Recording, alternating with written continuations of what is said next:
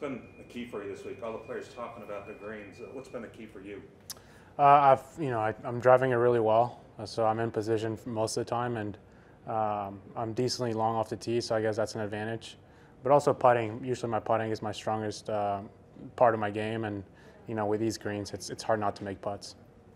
Yeah, this is your second season now. A little bit of a reprieve, getting to be able to play again. Obviously, went to school at OSU with, with both Matthew Wolff and Viktor Hovland. Do you talk to those guys a lot? Do you talk about what it's like to play out here?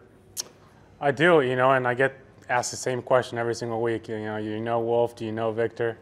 So I'm just trying to get out of that. Uh, so maybe they can ask a question about me, right? But um, no, I mean, obviously what they've done is, is you know super motivating. It's you know, like I've said in the past, there's no jealousy or anything. It's just great to see that uh, they've both won and they're you know top of the world. Um, so it just shows that it's possible, and you know that's exactly what I'm trying to do. So you know, I'm excited about the process.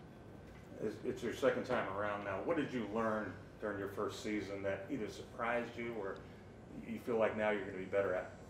Just playing my game, uh, doing what, doing what's comfortable for me. You know, not try to imitate other players and trying to chase, you know, other careers. You know, this guy's won that tournament or is top ten or whatever. It's just focus on yourself, and, and that's what I've done the last few weeks, and it's paying off. So, uh, if I just do my best, you know, that's all I can ask for, and you know, I can sleep good at night. You've had a good start to the season, good start to this week. Good luck this weekend. Thank you, appreciate it. And then